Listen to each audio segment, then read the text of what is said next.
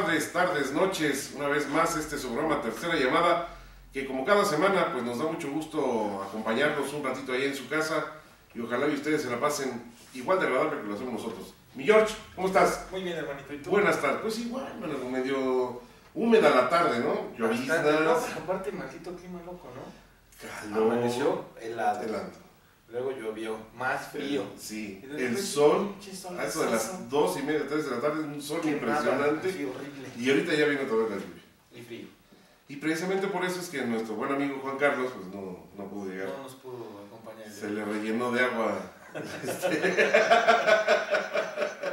alguna parte de su cuerpecito ¿no? y no pudo acompañarnos el día de hoy, pero la próxima semana ya se incor- reincorporará aquí a esta mesa. Algunos líquidos que le inundaron alguna parte de su cuerpo. En eso lo vamos a dejar para que no, no cometamos alguna imprudencia que al rato nos arrepintamos. ¿no? Saludos Juan Carlos, donde estés. ¿eh? Haz gárgaras, haz gárgaras.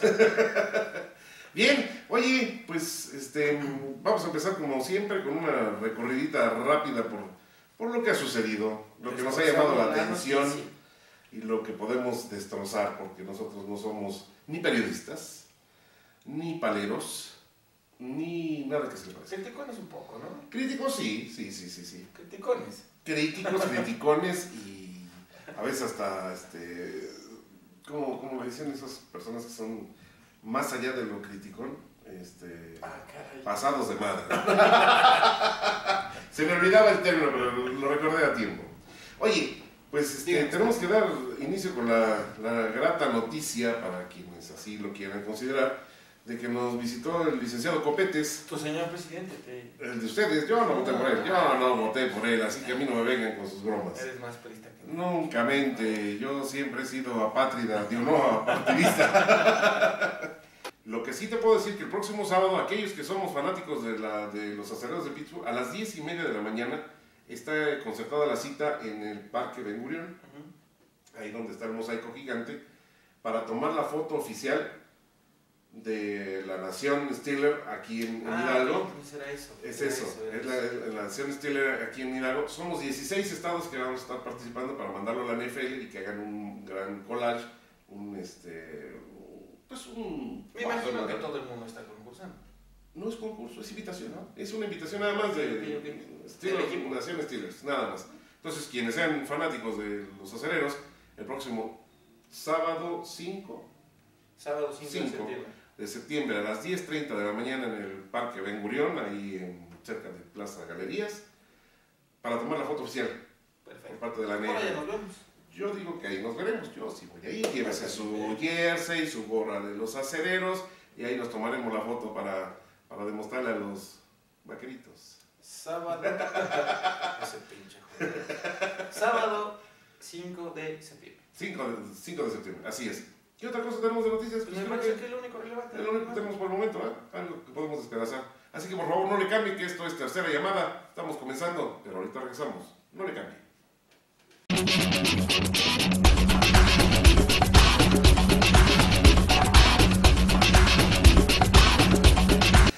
Gracias por continuar con nosotros en este su programa Tercera Llamada y pues como todo el proceso de televisión pues tenemos que continuar con una sección nueva. Por cierto, les quiero comentar que próximamente vamos a estrenar, bueno, ahorita en el mes, ¿no? vamos a estrenar foro, vamos a estrenar este Es producción ya ahora. no es coreografía, es escenografía. y vamos a estrenar también secciones.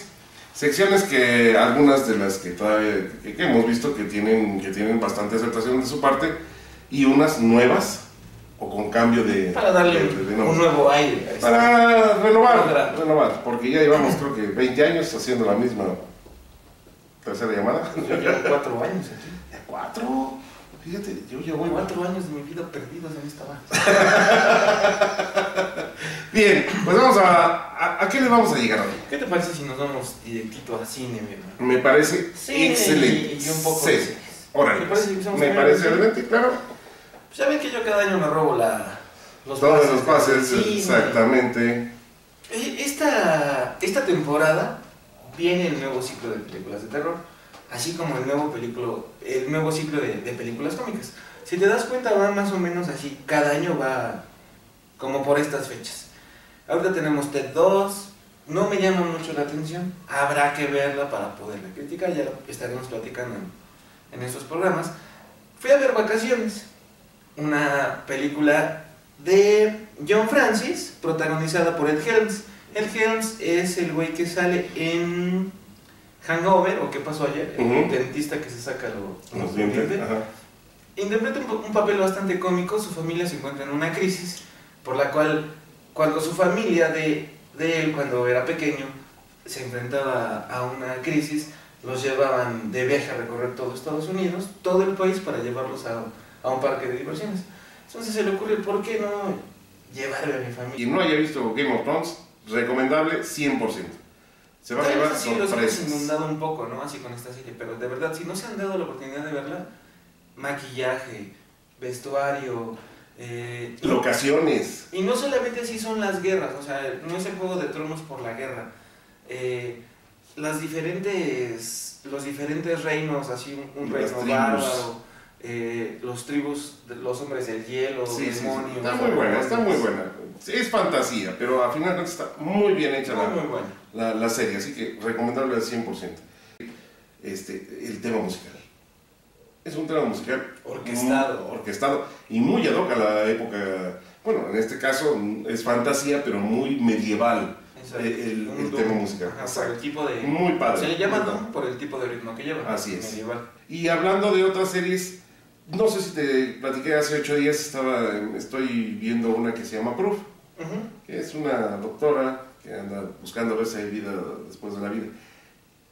Había yo visto hasta el capítulo 7, empecé a ver como que decaía, decaía, pero creo que fue parte de la producción el meterte en ese vado, en ese hoyo, porque ahorita los últimos tres capítulos, Con todo. no, hombre, ¿qué onda? O sea, se puso buenísima la serie, muy recomendable, Proof, prueba en, este, en en español. Si tienen la oportunidad de verla, si no, en- está en Excel. Y si no, pues en ¿Internet? otros, en otros portales de internet. Muy, muy recomendable. la. Otra serie de las que le quiero platicar es The Strain. Ah, bien, ya está la segunda La temporada. entrega de la segunda temporada. La primera temporada es la historia de un carpintero judío y un alemán que lo hace tallar un, un ataúd para despertar a un vampiro. Unos vampiros un poco brutales, de repente en un tono medio zombie, unos vampiros así medio Blade, así medios extraños, pero muy buena trama. No tan maricones como los No, no, de este, no, no, no, para nada, estos ¿Cómo se son hijos de Crepúsculo. crepúsculo. Que brilla. Ah, que Dios, ay, qué tiernos. El- la primera trama de, bueno, la primera temporada se desenvuelve en cómo el, el maestro, el, el vampiro mayor, pues trata de, de ir controlando así ciertas zonas para reprobar el, repo- repoblar el mundo. Oye, no, muy estúpido. Bueno, es que mi tecito no, no, sé qué pasa este, este. Bueno, yo no sé por qué. Nos siguen dando pinche no sé qué diablos. Que adelgazan, ni adelgazo, ni nada. ¿Por qué no nos sirven un tequila, hombre? Estamos en época mexicana. ¿A ti qué te dieron? Pues creo que es algo así con el pato purífico, güey, o algo así. Se me hacen que sí lo sacaron. A ti te dieron agua A mí no. güey. Y a mí me dieron agua cuando le bajaron. Pinche producción no sé qué tan gordo que llega a meter los. Ya nos odian, nos odian en esta producción, pero ni modo, se aguantan. Bueno, la segunda temporada rápido. Hay una exposición de vampiros, al fin se presenta el maestro, comienza la guerra entre humanos y vampiros. Estos güeyes son brutales, así llegan a sembrar terror de esta gente desmadradero. Vean así a los amantes de los vampiros, bastante buena o amantes del terror, y si no, pues échenle un ojo, igual y los atrapa. Claro, claro que sí. Pues, ¿te parece bien? Esto- Sí. Ah, bueno, y así ya como comentario Bueno. final, viene una nueva entrega de, de The Walking Dead, pero no es sobre la misma serie. Es así como... Van como paralelas, pero como cuando empieza la historia, pero se desarrolla en otro, En otro estado lugar. de Estados Unidos. Ah, perfecto. Igual se ve que, Va a estar bueno. que viene con, creo que con más producción, porque así vi, vi un corto, hay un canal que se llama AMC, AMC, Sí. y, y ahí será el, el estreno de esta nueva Ah, serie. pues No- no viene Ahí está, para quienes, Pero del mismo director. a los que estaban atrapados por The Walking Dead, ahí está, una, que una checarlo. versión nueva. Si te parece bien, hacemos nuestro corte. Perfecto. Por favor, no le cambien, que regresamos con... No sé qué, pero ahorita regresamos. Esto es Tercera Llamada. Salud. Regresamos. Salud.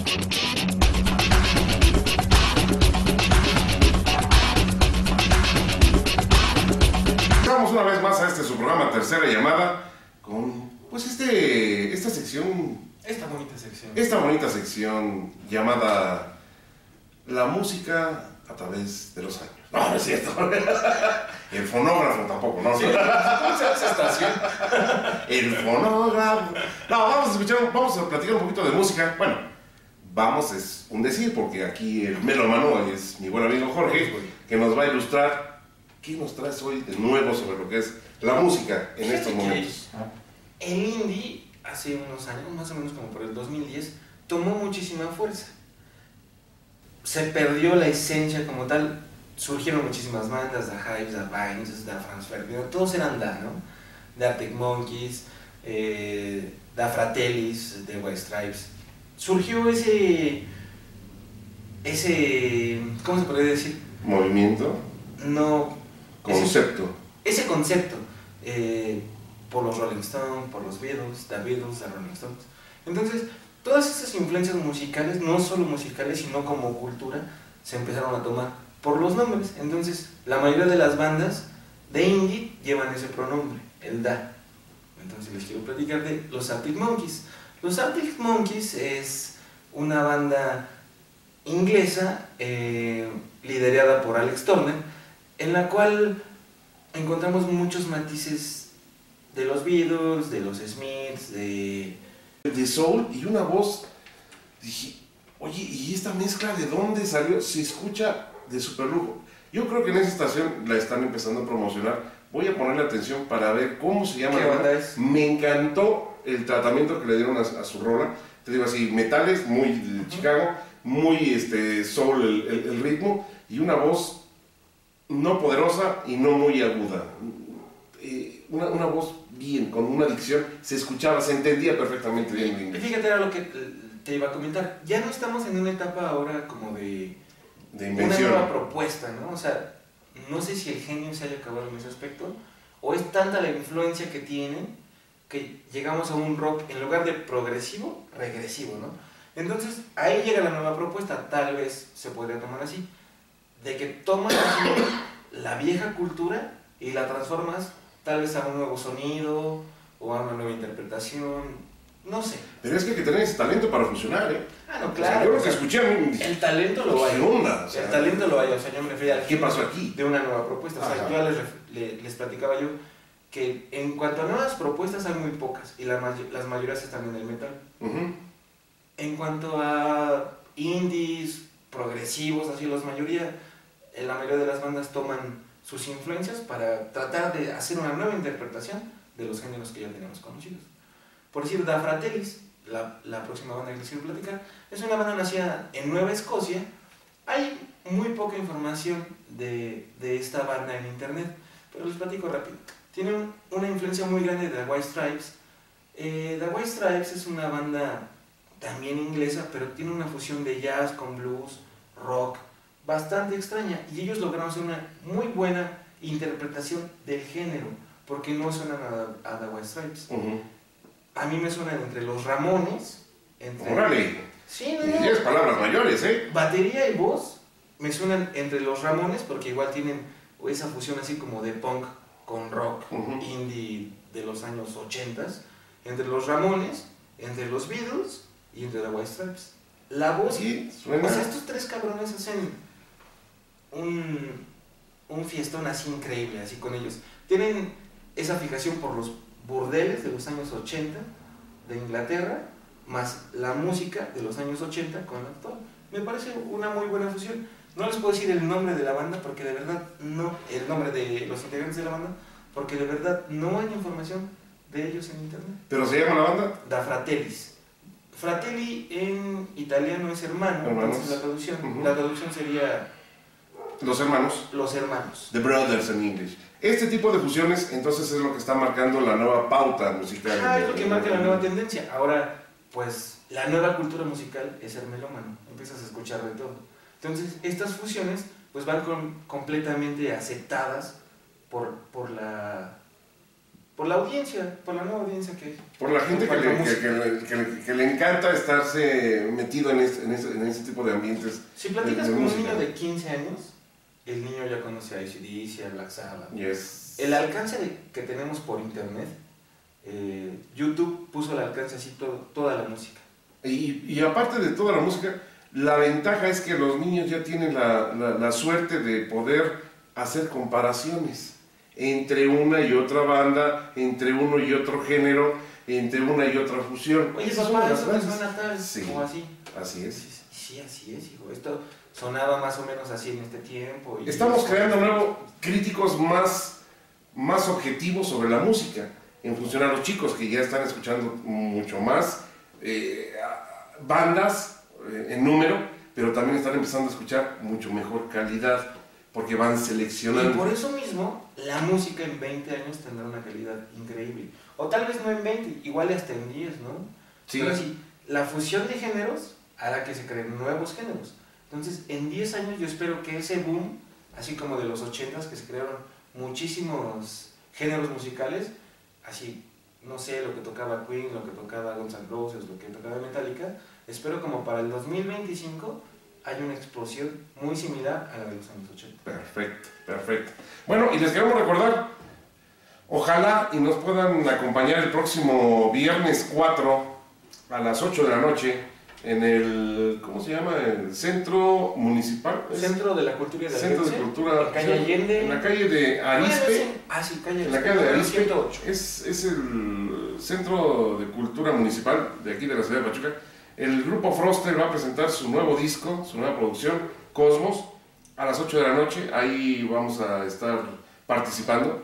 Estaremos cubriendo el Bueno, evento. algunos estarán cubriendo el evento, yo nomás voy a checar, yo desde acá, desde lejos. Pero ojalá nos puedan acompañar, va a ser un evento de un acceso bastante accesible. Y aparte, con el acceso, tendrán El disco. el, el disco. 50 pesos en, en la entrada y con eso ya se hacen, adquieren su, el disco para que se lo lleven. Y digo, va, va- Acceso y disco por 50 pesos. y van a haber otras bandas invitadas que son Rosita Venus, León Azul, eh, Lechuga. Mario Lechuga y Frost. Madvi. Ah. Y Frost. Ándale. Entonces, ojalá nos puedan acompañar el próximo viernes 4 a las 8 de la noche. Empieza la entrada para disfrutar de este, de este buen concierto de bandas locales que a final de cuentas, digo, todos, todas las grandes bandas tuvieron que iniciar en algún lugar. Y aquí tenemos la oportunidad de empezar a ver el futuro de una, de una buena- muy buena banda. Ya lo verán muy buenas bandas. ¿Sí? Por favor, dense una vuelta y apoyar el cine musical. Claro. Y disfrutar de un buen espectáculo. Señores, esto es